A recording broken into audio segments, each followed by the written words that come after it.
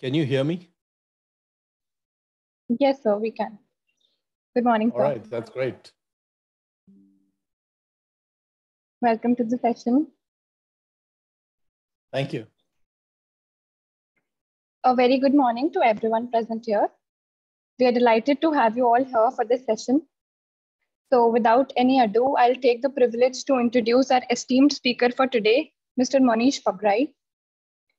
Mr. Mohnish Pabrai is the owner and managing director of Pabrai Investment Fund, which is a globally recognized firm that manages a portfolio of more than $400 million in assets and has exhibited a tremendous historical track record. What makes the fund stand out is that it is one of the very few funds across the globe that does not charge a management fee. Mohnish Pabrai is also the chairman and CEO of Dhandho Holdings, whose primary objective is to acquire high quality businesses with high quality management in place in a friendly manner. Not only this, he has also authored a book called Dhandho Investor, which has been of great interest for all aspiring investors. Apart from his excellent trajectory in the professional field, what makes Sir all the more inspiring to us is his inclination towards philanthropy, which is reflected in his founding of the Dakshina Foundation back in 2007. Dakshina Foundation has gotten over 1,146 impoverished but brilliant students admitted to the IIT. Thank you for coming, sir. The virtual floor is all yours. Thank you, uh, and thank you for that uh, uh, generous introduction. I uh, I appreciate it. And um, uh, anyway, great to great to be here. And uh, you know, one of the great things about the uh, investing business is that uh, unlike many other endeavors, like uh, if you play basketball or cricket or something else, is that you can keep getting better uh, at this throughout your life. And so it's kind of a an endeavor where continuous improvement and learning uh, is possible and actually desirable, which is which is wonderful. And uh, so, what I wanted to actually uh, kind of talk to you about today is that when we look at this uh, large tent uh, called value investing, uh, it it encapsulates quite a range of approaches and focuses one could have while trying to uh, you know create wealth and uh, generate good returns and so on. Uh, so uh, so for example, uh, you know buying a dollar that is uh, trading for 50 cents would be a great way to be a value investor. focusing on spin-offs, which Joel Greenblatt wrote about, is another way. Focusing on cannibals, which is companies that are buying back their stock, uh, you know, looking at uh, what I call spawners, which is businesses that are really good at, uh, you know, creating uh, new businesses and uh, and then you know spinning those off. So that's that's another way one can go, and uh, focusing on multi baggers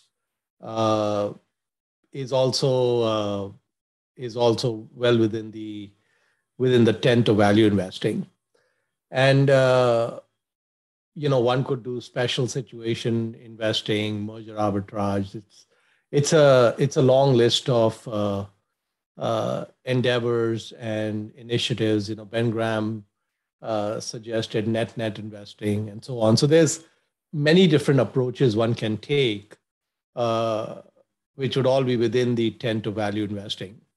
Uh, you know, they say that you're old too soon and wise too late.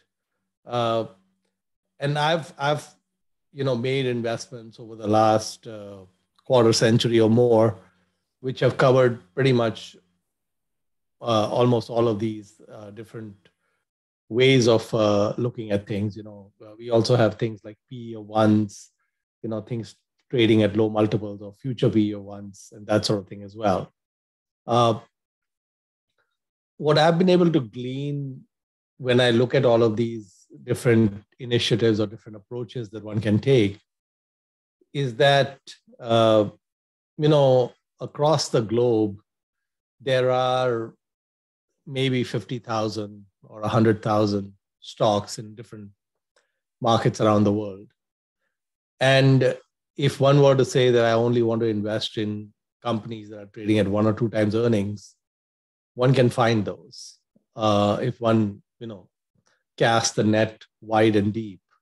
Uh, if one said I only want to buy 50 cent dollars or 30 cent dollars or 20 cent dollars, you would find those as well. So pretty much, I think uh, because the uh, universe of uh, prospective businesses is so wide and so large, uh, pretty much uh, any criteria you set uh, could work.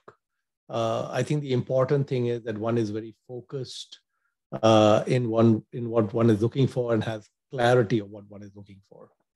Uh, I've I've come to the conclusion, uh, and it's actually a pretty, you know, it took me a long time to figure this out, but I think for most of you it would uh, would seem obvious, is the if there is such a thing as a best approach out of all of these approaches, uh, the best approach I think would be one where one focuses on multi-baggers, you know, businesses that can be a 10x in 10 years or less, or maybe a 100x in 20 years or less. Uh, so if one if one focused purely on the multi-baggers, uh, there are some advantages that come up uh, with that approach. Uh, one advantage is that uh, one doesn't have much in terms of taxes. So, because you'll be holding businesses for a long time, under most jurisdictions around the world, uh, until the positions are sold, uh, unrealized gains are not taxed. So basically, it gives you an advantage. And depending on the place on the planet that you practice this, you know, sometimes the tax rates can be as high as you know 40 50% and uh, so deferring that for decades or let's say 10 years or more uh, is a huge advantage because you get a free uh, interest free loan um, from the government. So so there's an advantage in terms of uh, taxes with this approach. Uh, the second advantage is that you don't have this continuous treadmill of needing to you know find something undervalued then it gets you know fairly valued and, and then you sell it and then you go look for something else so the multi-bagger the multi-bagger approach to investing has a few quirks and it requires us to kind of change our mindset uh, on a few fronts. So one of the one of the changes one has to make is that you know traditionally traditionally when one looks at what Ben Graham, uh, kind of the you know father of value investing, taught us, is that you buy something for well below what it's worth, and then as it approaches fair value, you sell the position and uh, and then you you know go look for something else. But in a in the multi-bagger framework uh, what what you would do is you would actually not particularly care if a position uh, became fully valued or even overvalued. Uh, so, for example, if if you bought, uh, you know, a business for 30, 40 cents on the dollar. And it's growing, that dollar is growing. And at some point, it's worth a dollar fifty, for example. It's gone up more than 50% over what it used to be worth. But the stock is trading at $2, for example. And uh, so under traditional Grahamian approaches, you would sell that as you get past the dollar fifty or whatever. But in in the quest for multi-baggers, uh, you would continue to keep it in your portfolio even when it became overvalued. You would you would sell it if it became egregiously overvalued. So one would need to distinguish between something that's overvalued and something that's egregiously overvalued. So let's uh, let's look at some examples uh, of businesses that and you know that might help explain uh, kind of where this approach is coming from and how it might work and so on. So if if we look at uh, if we look at a business like uh, let's say mcdonald's for example uh, you know mcdonald's was uh, was formed in the i mean it, it i mean the business existed but ray kroc took it over in the 1950s I, I think they went public in the 1960s and uh, it's been public for maybe almost 60 years uh, since then. And uh, it's still growing so uh, their um, you know the number of restaurants revenues uh, profits etc uh, i mean it's gone through some ups and downs over the years but it's it's it's grown and it's grown spectacularly. And, and I think from the time it went public till now, uh, it's north of a 10,000 bagger. You know, every dollar you invested is worth more than $10,000. Not a, not a 10 bagger or a 100 bagger, like a 10,000 plus bagger. And why, why did why did McDonald's uh, do so well? So it did well because it, you know, there were uh, in the early days when when it got going, there were a number of initiatives, uh, a number of innovations that McDonald's had come up with. Uh, some of you might have seen the movie uh, The Founder uh, I think the founder is, I think it's on Netflix. I'm not sure if it's on Netflix in India, but you might want to uh, uh, take a, you know, I think it's a, it's a very good movie to see. There's also a biography that got written uh, on McDonald's called uh, Grinding It Out. it's also a good book. It's a very old book, but it's a great book to read. And um, there's another there's another book uh, which was written by the the first CEO of Burger King. Uh, it's called The Burger King, and that's actually an amazing book as well. But basically, one of the early innovations McDonald's came up with was that uh, everything they sold could be eaten without a fork or a spoon or a knife. There was no uh, kind of cutlery needed to, you know, French fries, you could just take it from your hand and so on. And uh, the other thing, the other big innovation was that uh, it was served really fast. Uh, you know, the the production time. And actually, if you really study McDonald's internal processes and how it functions, it's kind of like a light manufacturing type operation. And the, the software and engines they use internally is like what you would use in a light manufacturing operation and uh, and of course like for example uh, they were very specific about the way the french fries should be with the russell potato so in fact like for example when mcdonald's enters a new country uh, like india or russia etc it takes them two or three years from the time they decide to enter to the time they can open their first restaurant because it takes a couple of years to train the farmers and generate the supply chain for the right kind of potatoes and such. So it takes uh, takes them sometimes more than a couple of years just to open the restaurants and such. But the interesting thing about something like McDonald's is that um, almost all the innovations they came up with, there were a lot of copycats. And uh, there were many businesses that came up that cloned or tried to clone what they were doing.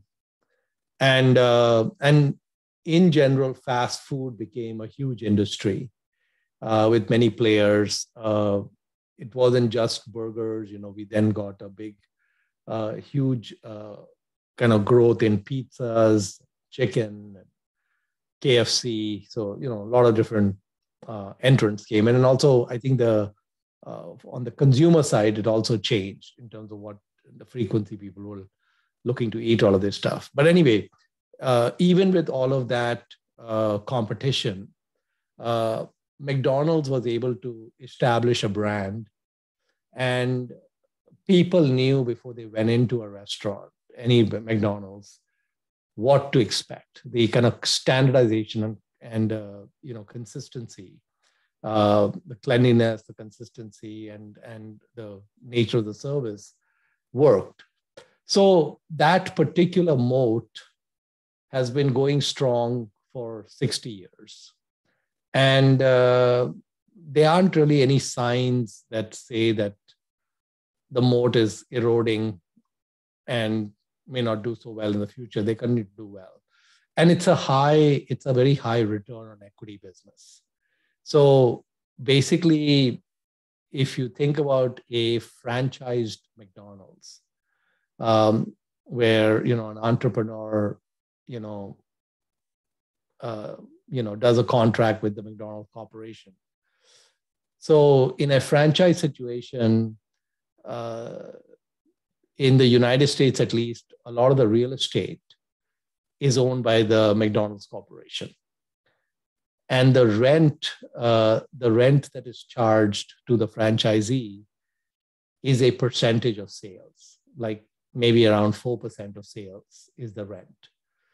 So if you think about the rent uh, that McDonald's charges its franchisees, it's kind of automatically inflation indexed. You know, uh, just goes up with inflation. They also charge a franchise fee, you know, for the right to use the brand, etc. That might be another four percent or so, and then uh, the franchisees also buy a lot of the products they need from McDonald's. And usually, what McDonald's and a lot of the other franchise type operations will do is they tend not to focus on making money on the products. Uh, they tend to focus on you know passing that through. But you have the two main engines of the franchise fees and the rent, which might be something like seven, eight percent of the top line. So if you look at it from the McDonald's corporation's point of view, a typical McDonald's in the US might have something like two or three million in annual sales. And the McDonald's Corporation might get something like, you know, 150, 200,000 a year um, from that from that location. The capital they have to put up against that is almost non-existent uh, because it's the entrepreneur who's, you know, paying for all the capex and the maintenance capex and all of that. So it's a very capital light business. So the the three legs that we need, uh, you know, I think Chuck Akre called it the three-legged stool. The three legs that we need for these long multi-baggers is first of all the core economics of the business should have very high returns on invested capital, ideally without the use of use of debt, right? So you basically uh, like McDonald's doesn't need to borrow money to make a lot of money. Um, the second is that um, we want very high integrity management and we want insider ownership you know kind of alignment of interest where there's a smart entrepreneur or someone or insiders who own it so they've got incentives. And the third is that we want a very long runway. Uh, so where we can see that this thing can go on for a very long time. And I think that when we, you know, if you were to pick up the annual report of, let's say, Walmart, for example, Walmart went public, I think, in 1972 or something. It's like been public for like 50 years. And um, if you picked up the annual report of Walmart, let's say in 1980, for example, a few years, seven, eight years after they went public, you would see that they've got very superior economics at the store level, uh, that they generate high returns on equity. It's, it's a business that does well, uh, very, very rapid turnover inventory and so on. And you would also see that it was embryonic in the sense that large portions of the United States at that time, 1980, still did not have a Walmart. For most people, you could not get to a Walmart within, you know, 10, 15 kilometers of your home. So you could see that basically this uh, business could actually, if you, if you just looked at it in, in North America, there was a lot of room to grow. And what we've seen with McDonald's is that it, uh, or, or Walmart is that it wasn't just a US story. You know, it was a global story. So Walmart has, you know, opened up in other countries and done well. And um, and and you know, we could look at other other businesses like let's say the Coca-Cola company. You know, the Coca-Cola company was formed about a hundred and 30 years ago. And that moat is still growing after 130 years. And again, the unit economics are extremely attractive because the Coca Cola company typically doesn't do bottling. They sell the syrup. And, and uh, so they have, you know, these plants which sell, they don't even sell the syrup, they sell syrup concentrate. Uh, and so basically it's almost like a software business where you know if you're if you're spending five or ten rupees on a on a coke uh, coca-cola company might get like 8% of that. And they would have very little cost against that. Um, so again it's it's very similar to mcdonald's in terms of uh, uh, in terms of economics so basically, there are there are businesses, different kinds of businesses. You can look at a business like Mastercard, or Visa, or American Express, and they have similar attributes where you have very high returns on invested capital. Uh, you have a very long runway, and you have high integrity management with inside ownership and so on. And so, if one pursues these now, you know, the nature of capitalism is that everyone wants to own these kinds of businesses.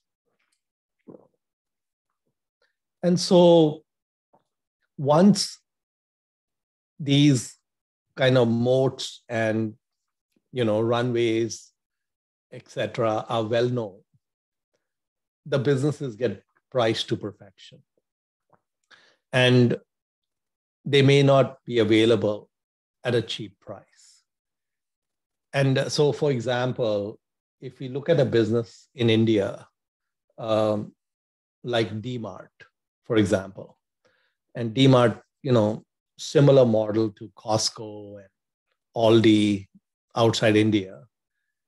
And DMart is very embryonic today. There's very few DMart stores in India relative to what could possibly be their penetrations in 10, 20, or 30 years. But the market recognizes that. And so DMART trades at you know huge multiples. Uh, it doesn't appear optically cheap. Uh, but the interesting thing is that if the runways are really long uh, and they actually end up being uh, runways that go on for you know several decades, then even an expensive looking price can end up being a great value investment. But, but I think that as as value investors, you know, we have to also uh, have a good dose of skepticism in in how we approach these things. So we can't always assume that you know everything's going to go to the moon in terms of terms of size and growth. And uh, the nature of capitalism is that there will be a lot of competition that will try to go up against those moats. But but I think that I think that if um, you know there's a uh, there's a quote from the Upanishads uh, which goes something like this: uh, "As is your wish, so is your will. As is your will, so is your deed. And as is your deed, so is your destiny. And then, kind of, the punchline is your deepest desire is your destiny. So, going back, you know, to what I started with, you know, if you said, I want to focus on 50 cent dollar bills, and that's your deepest desire, you will find those. If it's if you say I want 20 cent dollar bills, you will find those too. If you say that I only want to invest in businesses that can go up 100 times in value in 10, 20, 30 years, you can find those too. So it's a matter of what you choose to focus on. Uh, and as long as you're willing to put in the work, to sift through company after company, you know, with the framework that you're interested in. So, in in the case of the multi-bagger framework, there are just three things that matter, and then the fourth is the price, obviously. So, if a business doesn't generate high returns on equity, you're done. You don't need to spend any time on that. If the business needs a lot of debt to grow and generate high returns on equity, you could also be done. You don't even need those. If management quality or ethics is a question, you're also done. You don't need those either. And so just, just if you look at the businesses that generate high returns on equity, that alone would wipe out large swaths of businesses. And then you know you get to the runway, right? So we can clearly tell um, DMART will be a lot larger in 10 or 50, 15 years than it is today. I think that's a pretty easy bet to make. That the statistically, I think the odds are high that something like DMART might do well. Uh, we could uh, we could make that statement about private sector banks in India. You know, private sector banks in India might be like a third of the banking pie in India today. And maybe in 10 or 20 years, it might be half or two thirds of the pie, for example. And the pie itself will have grown. So, uh, so th- there are there are uh, things that we could hang our hat on, and um, and then kind of take it from there. So basically, I think that if you if you go down this path, which is the multi-bagger path, uh, the interesting thing is that uh, and and and all all value investing, there are a couple of data points. You know, John Templeton used to say that the very best value investor or analyst will be wrong one out of three times, like 33% error rate is the lowest error rate for the very best practitioner of the art. Uh, if you were a kind of brain surgeon and you had even a 3% error rate, there might not be too many people coming to you for brain surgery. Uh, but I think in terms of value investing, uh, you could be wrong half the time. And I think I've probably been wrong close to half the time and still end up with a phenomenal track record. So, and especially if you focus on the multi baggers, you know, companies that would go up 10x or 100x, basically in a lifetime of investing, if you end up ended up finding just two or three or four hundred baggers, at the age that you're at right now, um, that's all you need. In many cases, if you just found one, that might be all you need. And uh, and so we have all this time, and on the other end, we just need to find uh, things just once. Don't even need to find them that many times.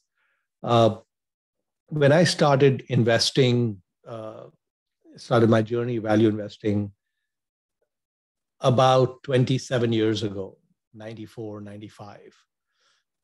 In the first, in the first five years, when I was not running my funds, I was just running my own money. I started with about $1 million in 95. By the time in the first five years, I had had uh, 200 baggers uh, in the first five years itself. And then I think from 2000 to 2022 now, uh, I haven't had any 100 baggers. Uh, but I think that there might be some, some more in the future, uh, some that are kind of you know, still hopefully going through their, their journey. Uh, so, so you don't need uh, you don't need very many of them um, uh, a few of them can get you to the promised land. And I've had, I would say, I've had when I look back, a rather sloppy journey um, as an investor because I was trying all these different things. If I think if I in 94 or 95 I had done what I am telling you to do now, or suggesting what you should do now, I think I would have done a lot better than how I've done. So if I'd purely focused on the 10 or 100 baggers, then uh, it would be, uh, I think, I think the, the results would be vastly better. And uh, I remember in, uh, in 95, January 95, uh, when I had the $1 million, I'd mostly invested in the US markets. But I had an I had a interest in the Indian markets as well, and I thought there were two or three areas where it could do well, and I decided to put twenty thousand out of the one million dollars, just uh, just two percent of the portfolio, into India at that time, and I opened a, a brokerage account, uh, and so just my own money. So opened an NRE brokerage account with Kotak. And um, I decided to put half that money, $10,000 in one stock, which was a IT company. And I was in the I was in the IT services business at the time, so I know I knew this business really well. Um, Satyam Computers, which at that time actually was a pretty honest company. They kind of went wayward, I think, in terms of their ethics about 10, 12 years after that. Uh, but in 95, they were a clean company. And um, so I put 10,000 into Satyam and uh, in 95. And I think by the time it was 2000, it had gone up 150x. Um, the 10,000 had become $1.5 million, approximately 1.4 million or something. And then the remaining 10,000, I put into three other stocks. Um, I bought two of the courier companies that were listed in India at the time Blue Dart and Skypak courier, because my perspective was that the Indian Postal Service was just hosed. And if you really wanted to get a package from point A to point B in India, you really had to rely on private people to get it for you. I don't think the Postal Service was reliable. And so I thought that these businesses that were focused on that would do quite well. And um, so I was just going to make three investments actually uh, half in Satyam and then half in these other two. And then at the last minute, I was also very impressed with Kotak because I was just very impressed in dealing with their people. And so I decided to uh, split the other 10,000 three ways, you know, one about 32, 3,300 in Kotak and 3,300 in the other two businesses. So when this 10,000 became 1.4 million or whatever uh, in 2000, the other three businesses had done nothing for five years. They was pretty much sitting close to what I had paid for them. like no movement for the most part. And um, so I said, well, you know, it is not realistic to think that if you put $20,000 in the Indian market and you get, you know, 1.4 million, something like a 70x, that you there's still some meat on the bone and there's still some juice to be extracted, if you will. So I said, this is a pretty good result. And for no really good reason, in 2000, I sold the other three stocks. And I told Kotak, you know, sell these stocks and just send me the, the money back. I basically liquidated the entire Indian portfolio in 2000. And uh, there was no there was no really good reason to sell Blue Dart or Skypak or Kotak. I, no particular reason that uh, uh, I had to do that. Uh, Kotak from 2000 till now is about a 500x. Um, Blue Dart is about a 300x. And um, Skypak went kind of backwards. I think eventually went bankrupt, but it was down like 90% or something.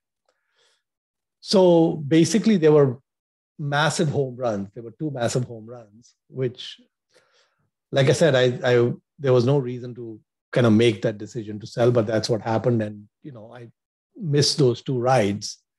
And uh, but even with the sloppy nature and kind of stupid analysis that I did in those sell decisions, uh, the end result was fine. And the remaining 980,000 that I'd invested in the US over the next four or five years by 99, 2000, it was about uh, 13 million or so. So that had gone up quite a bit because one of those uh, one of those bets had gone up 100x. Uh, 100,000 became about 10 million or so. Um, so anyway, the thing is that even with a lot of sloppiness, what I'm saying is that basically what what when you look at that investing that took place then, just the two bets that were a hundred bagger were responsible for like 80, 90% of the returns. It didn't matter. The rest didn't matter if it all went to zero. Uh, the results would have still been, been great. And so that's the nature of this multi-bagger type investing is that it can tolerate a very high error rate. Um, and of course, your, your objective as an analyst should be to try to keep the error rate as low as possible. Uh, in uh, 2019, I um, I was visiting Istanbul for the second time, and uh, the Turkish market actually I think is the cheapest market in the world because they've got just a lot of crazy macro things going on in the country, very high inflation and weird policies, and everyone's exited and so on. In fact, Turkey reminds me of the Indian markets maybe in the early 90s or so on. And I ran into this business on my second trip in 2019, where the market cap was $20 million and the liquidation value was more than six or seven hundred million dollars. Uh, it was actually a dollar bill trading for three cents, uh, which I don't think it never happened to me before then. So in the previous 24 years of investing, that never happened. And I think till I leave planet Earth, I don't think it'll happen again. But basically, you know, if I look at this business, which I bought at, you know, three cents on the dollar, like the 20 million market cap, I I was surprised with the volumes. Uh, Pabrai Funds owns one third of that business. And we pretty much got one third of the business for like $8 million or something. And um, so if the business did not increase in value at all,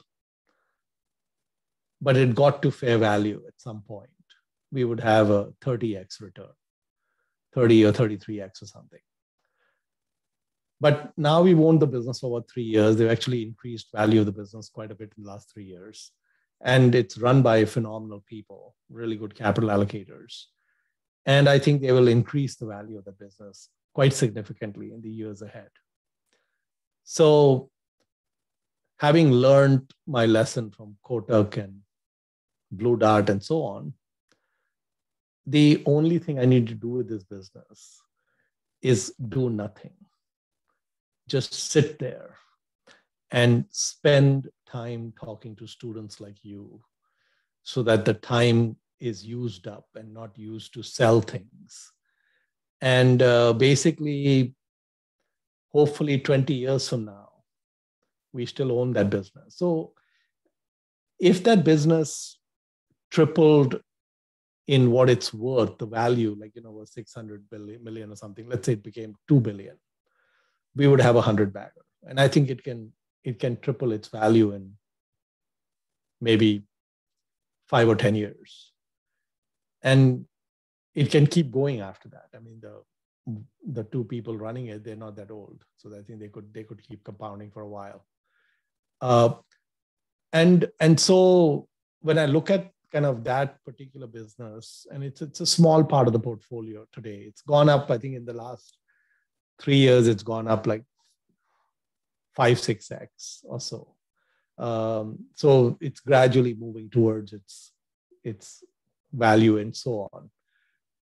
And uh, but I'm just saying that, that the nature of these hundred baggers is that this one business could become bigger than everything else in the portfolio, even though we made such a small bet with it. So with that, I think uh, I'll stop there and uh, would love to hear what you have on your mind. We can talk about what I just talked about or stuff that is unrelated. So thank you. Uh, thank you, sir, for the insightful session. It was so interesting to listen, uh, listen to you. Uh, now we will open the floor for questions from the audience. Those who want to ask their question can raise their hand. Uh, I will coordinate.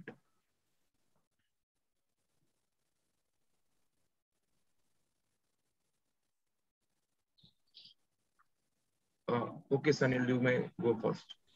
Okay, uh, so sir, uh, thank you for this insightful session. Uh, so, uh, in this uh, today we uh, listen a lot that uh, value investing is uh, dead in the modern world. So, what is your opinion on this?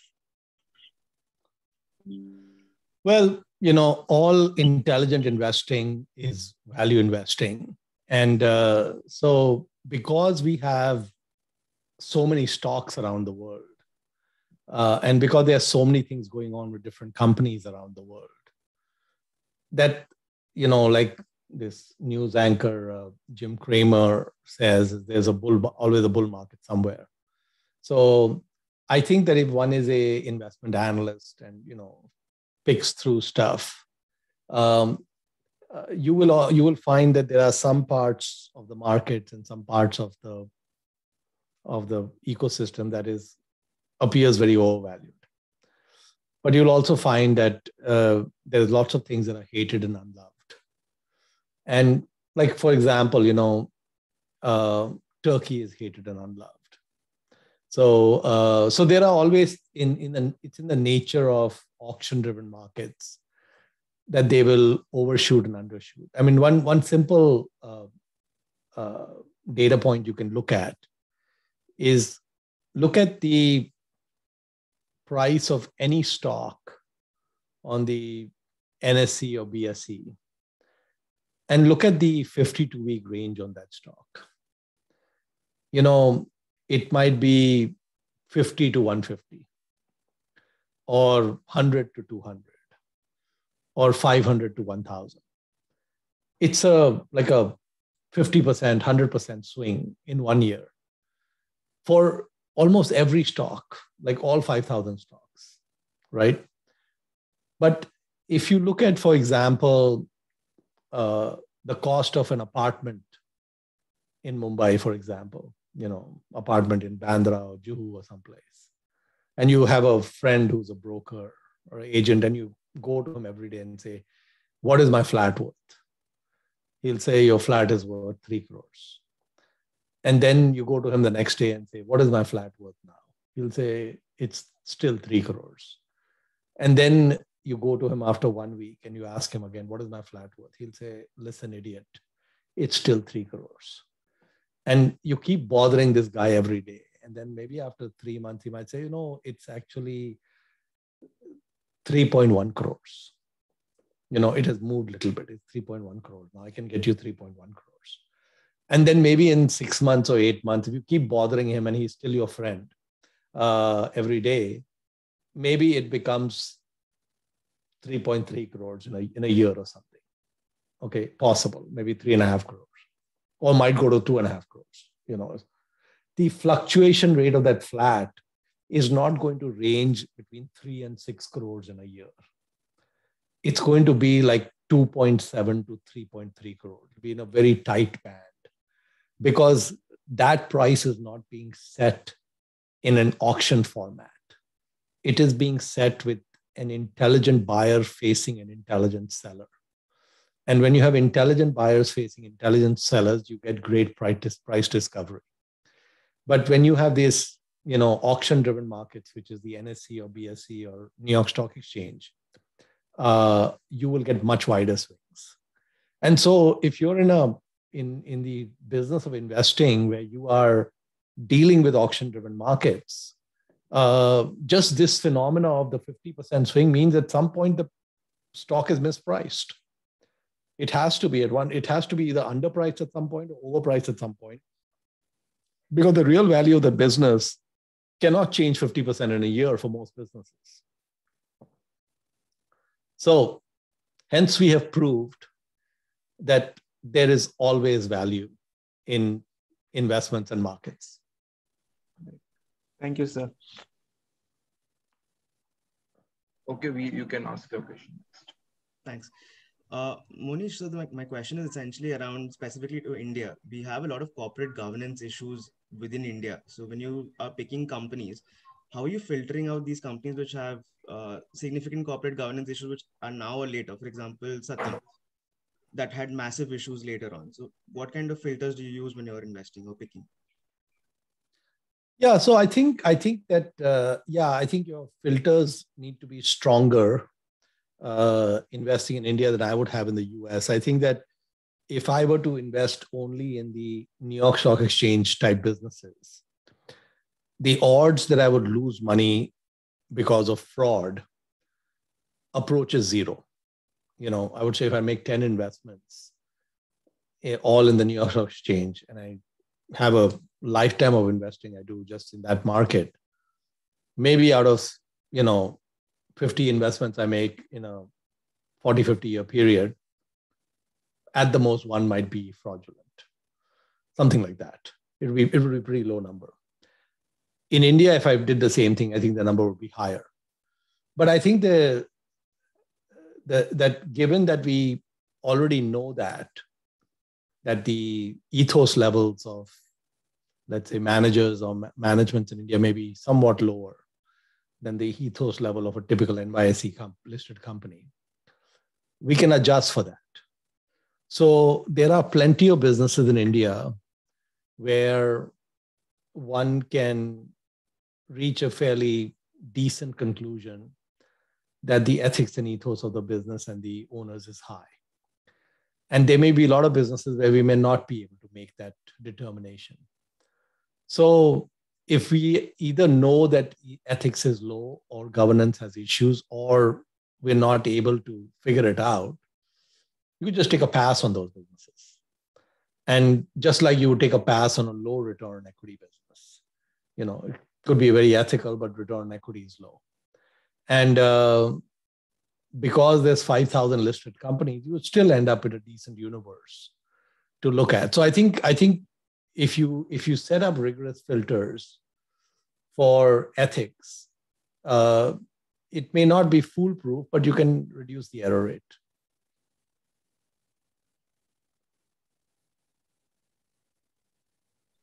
Thanks. Uh, okay, Parit, you can ask your question. So thank you for the great session.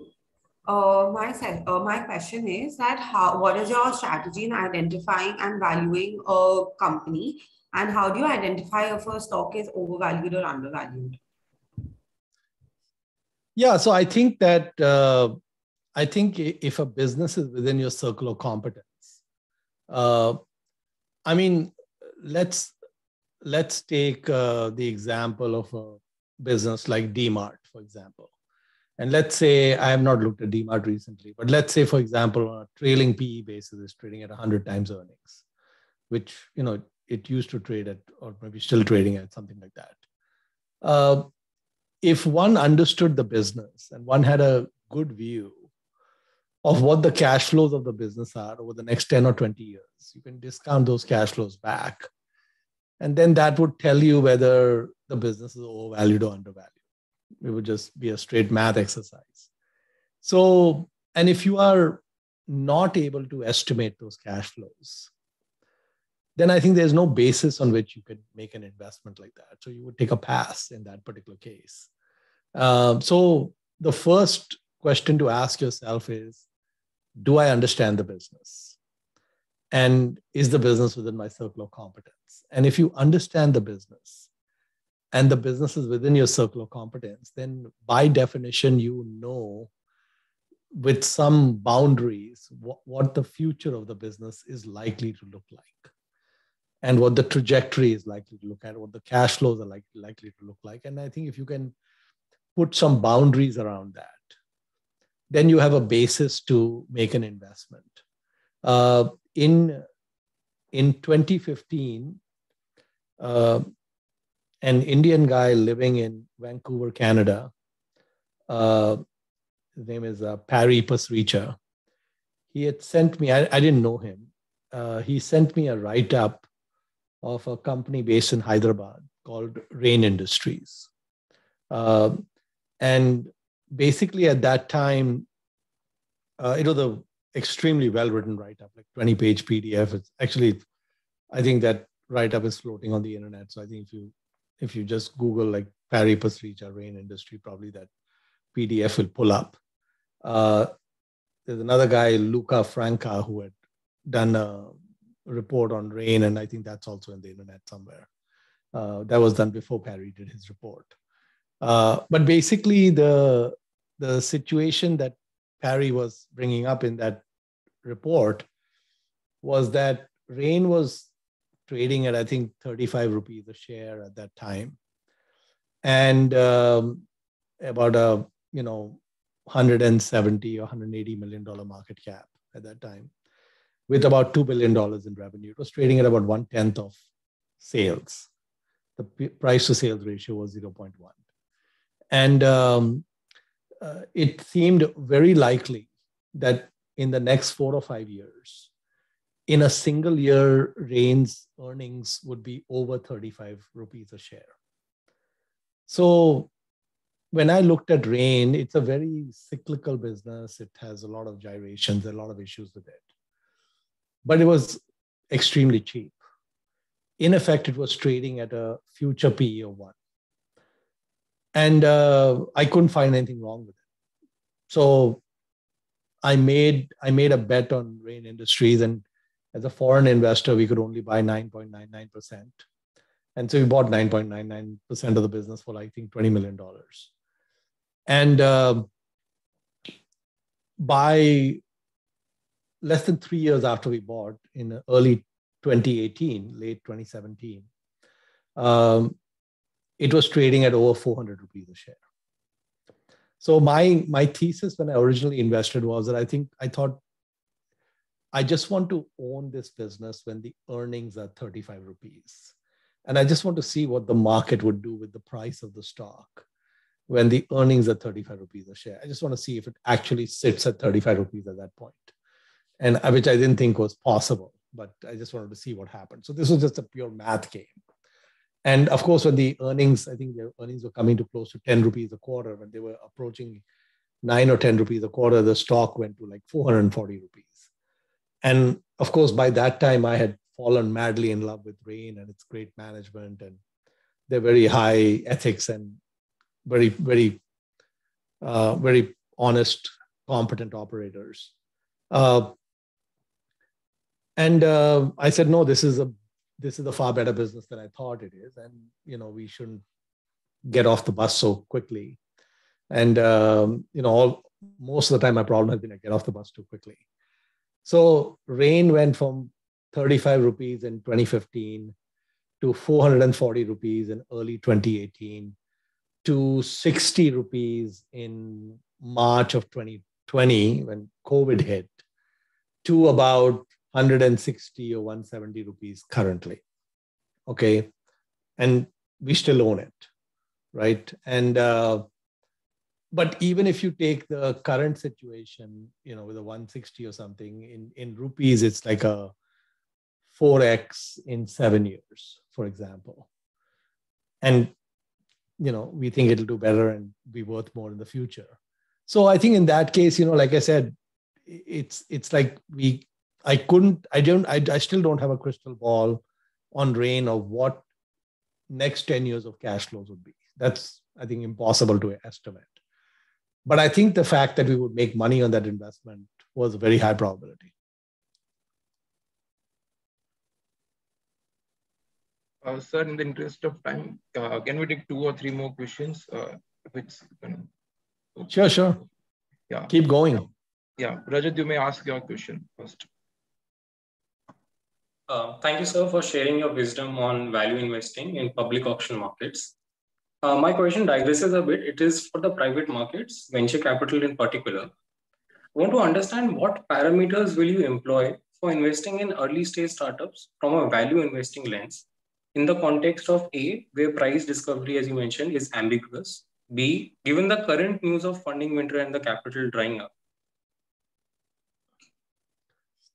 Yeah, I mean, I think that uh, I'm probably not the right person to ask that question to. I think the the closer you go towards the formation date of a business, uh, and then try to extrapolate the future of that business, the more murky it becomes. And so the the venture capital game is a very different game in the sense that you are expecting most of your returns to come from one or two bets in the fund, for example, and you're expecting 80, 90% of the fund may, a lot of those investments may go by the wayside or may not do much long term. So basically, it's, it's a very different game. Uh, I think it's very hard to get downside protection in the venture game.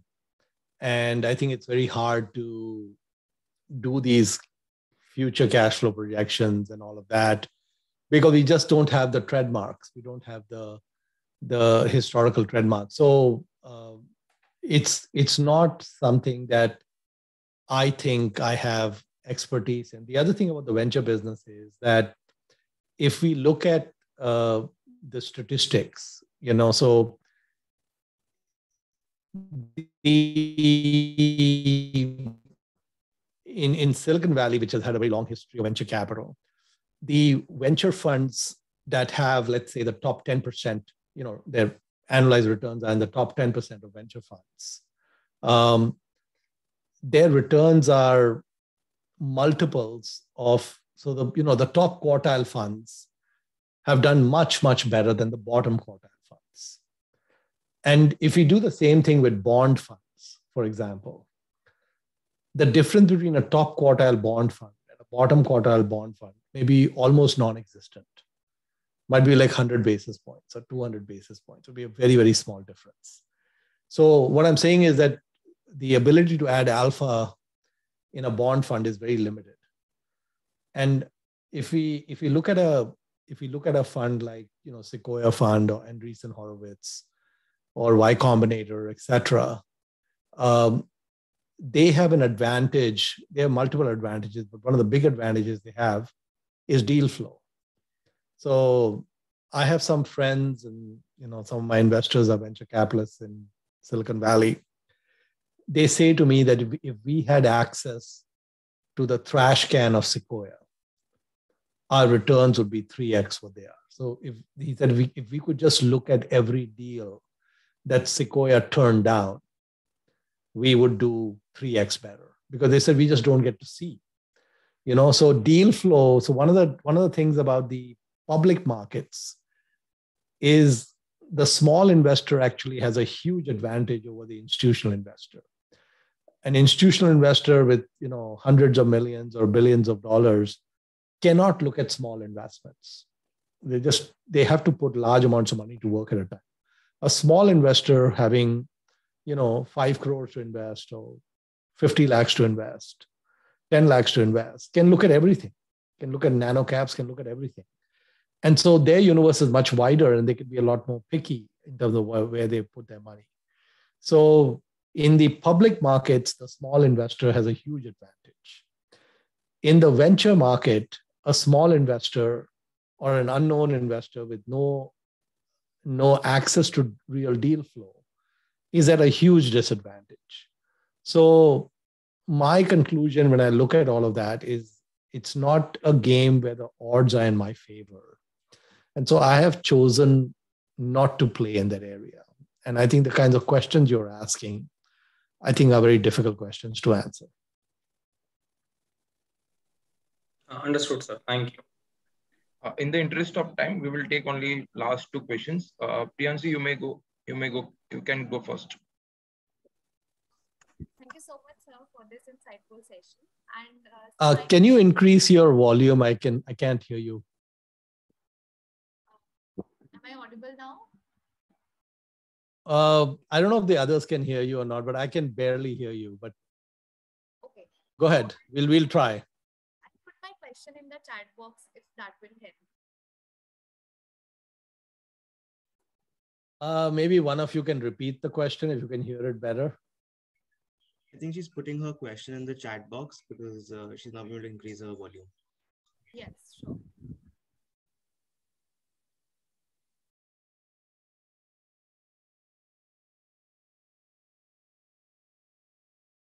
Uh, sir, I will repeat. Okay, yeah, yeah, yeah. So I can, I can see it. Let me take a.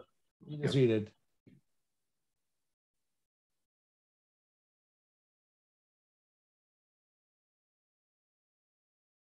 Yeah, I think I think for a know nothing investor, uh, passive index investing is a great way to go. Uh, especially if you have you know many decades of time and you're young and so on. Uh, I think uh, index investing does well. The frictional costs are low and such. If you have a view and you understand certain businesses, you understand they're undervalued, and and so on, then I think you could actually, you know, pick stocks and so on. But I would say uh, starting baseline being a passive investor is certainly a great way to go for most people.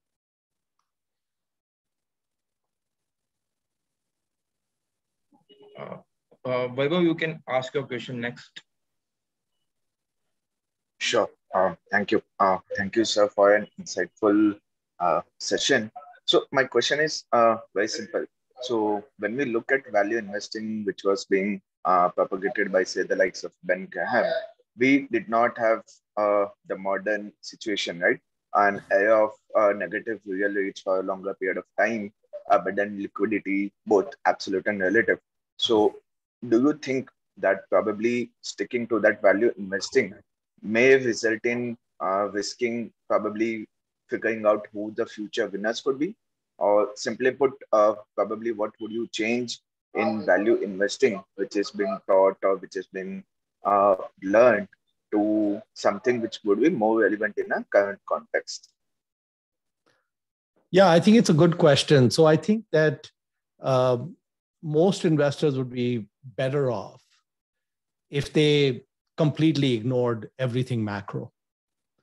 So, for example, if if i had a viewpoint of kind of what would happen to starbucks 20 years ago it really doesn't matter what the rates are and what the fed is doing and what you know what financial crisis is happening or whatever else is happening at the core the starbucks business is such that when they open a store in the us they get their money back in two years 35% return on capital. They, they, they don't franchise any stores.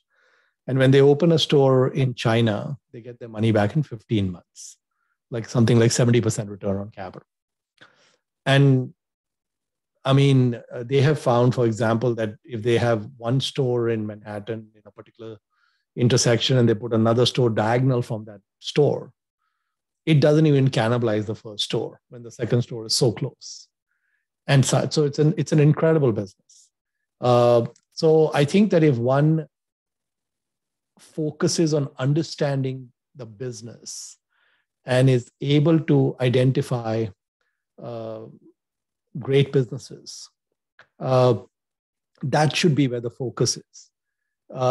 When I made the investment in Turkey in this in this business, it was completely irrelevant to me what was happening on the macro front. I mean, Turkey inflation rates are crazy, and the the way they deal with the currency is crazy. But I was I, I could look at that business and see that these things would not really matter uh, in terms of our returns. And basically, when I made the investment in that business, uh, one dollar was five lira. You know, five lira could get you one dollar. Now it is almost 18 lira to get one dollar. So I have suffered incredible devaluation, but in dollar terms, we are up four, five X. In lira terms, we are up infinite X. But who cares about that? Uh, so what I'm saying is that we had extreme headwinds, uh, macro headwinds when we went in, didn't care about it, and it didn't matter. Uh, so I think it's it's very important to be right on the business. If you were early on McDonald's and Walmart or any of these, you know, Mastercard, Visa, whatever, uh, Coke, and so on, I think the thing is that you know some of these, you know, long runways, they will transcend everything. And uh, that's the key: is can you find these great businesses? Can you find them early enough? Can you buy them at decent prices? And then can you be patient through thick and thin?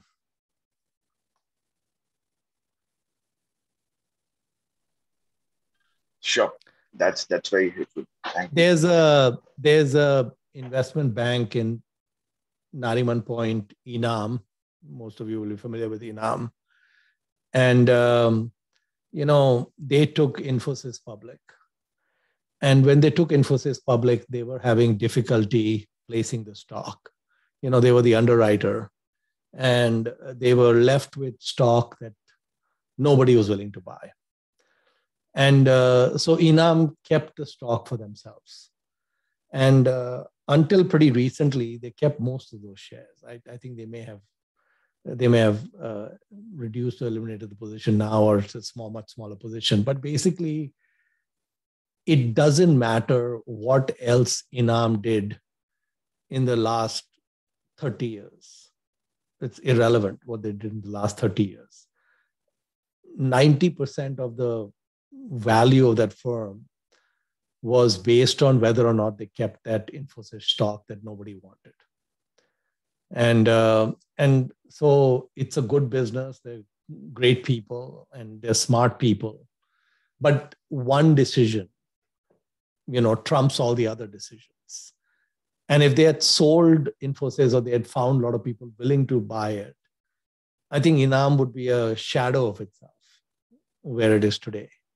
So, you know, it's just small, small things like that create huge deltas in where things end up.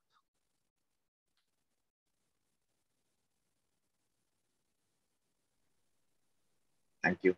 Thank you so much, sir. Sir, can we take up one last question by Pawan, if time permits you? Of course. Yes, Pawan, you can ask your question. Uh, thank you so much, sir, and thanks a lot for your wisdom, sir, today. So uh, my question is regarding uh, multi-baggers as we discussed. So during our holding period of say 10, 15, 20 odd years, we see drawdowns of over north of like 50%, sometimes even 90% during the tenure, investment tenure. So how do you deal with that situation? And it often arises when you're holding for such a long period of time, especially for multi-baggers. Yeah, so conviction is really important. And how do you get conviction? I mean, I think I think you get conviction because you have a very strong understanding of the business. So um, if I if I go back to the the business in Turkey, for example, uh, basically, you know, that business has a number of different uh, business lines, but the one that has the most value today is they have 12 million square feet of prime warehouse space in Turkey, and it's mostly in Istanbul. And that 12 million square feet has a value today. Uh, you know, you could go to a broker, he will tell you that you can sell the whole thing and you will probably get a billion dollars for it, something like that, billion, billion two or something. There's only about 100 million or 80 million of debt. So if you just liquidate that entire position, you'll get about maybe 900 million dollars or something. And, you know, so uh, what is a warehouse? So warehouse is land, concrete, steel, some 20% is refrigerated. So you have some refrigerated units and all that. All of these things are going to increase in value if you have inflation. So steel price is going to go up because it's going to it's going to track international steel prices. Uh, concrete and cement prices will track international concrete and cement prices. And land also has prime land in a prime, uh, you know, major city in the world has a value. And so when I invested, the value per square foot was about $80 a square foot for land and improvements. And I don't think that 80, $80 going anywhere. You know, it, it may be 200 a square foot at some point, but it will not go to 30 a square foot. That won't happen. Uh, so, so I don't care about anything else that's going on that is the piece that is the most important. You know, it's 99% lease, it's 10 years, inflation index, uh, leases, and all of that. So conviction is really important, right? So if you if you invested in Starbucks, you would have two or three things that you understand. You would understand the unit economics that when they open a store, they get their money back in one or two years. You would understand that. If that suddenly changed where it was taking five years or 10 years to get your money back when you open a new store, something has changed, right? That's a significant change. If that looks like a secular permanent change, the thesis has changed. But if you if if it continues to be very high returns on, on capital, the second is you would have had some perspective on the runway, where you say, okay, it has 5,000 stores around the world, for example. It probably has more than that right now, but at 20 years from now, I think it can easily be 25,000 stores, for example. And if you have conviction on that then you know you, the two pieces that really matter is that what are the unit economics and what is the store count you know? And those are really the pieces that matter. And so when you make an investment in a stock you should be able to explain the thesis of that investor investment in five or ten sentences to a 10 year old without a spreadsheet and without anything कि भैया ये business का ये value है and this is why this makes sense and that gives you the conviction if you have to go look at a spreadsheet or go look at something to then you know when price drop 50% to understand what is going on uh, you have not done your homework. So it needs to get down when you've done all the work to simplicity. You know it can take a long time to get to those essence uh, of these businesses but it needs to get to the essence of those businesses. So you have to get to understanding why is this this business resilient? Why will it be around 10 years from now? And why will the economics and the return on equity and all of that still be high why will all those things be true and uh, so we aren't particularly concerned with price movements. We are concerned with the expansion or shrinkage of the moat. If the moat goes through a secular decline, we have a problem. Uh, the quoted price changing is not relevant. Got it, sir. Thank you so much. Thank you so much, sir, for your insights. Before we conclude this amazing session, SBM NMIMS would like to extend a heartfelt thanks to Mr. Mohnish Pabrai for sparing his valuable time to grace this event and enlighten us with some really practicable, practical and usable words of wisdom. We would also like to extend our gratitude to all the attendees for their unabated attention to our event and for some really good questions. We definitely have something to take back home. What was more intriguing for us was how you identify stocks, whether it is through Chuck Akre's three-legged stool, which can become multi-bagger for example, McDonald's, Coca-Cola, etc. And I'm very, I'm very sure if we replicate this approach, we can make money for ourselves. If knowledge is power, then curiosity is the muscle. Let's keep up this curiosity forever. On, the, on that note, we reach the end of the session. Have a great day, everyone. Thank yeah, you. and I would just uh, I would just like to say that I think you guys are the cream of the crop of India. You are the future of India. You're at a great institution and you guys will do really well in the decades ahead in whatever becomes your eventual you know career pursuit so uh, i think you already kind of won the lottery if you will so the world is your oyster and congratulations thank you sir all right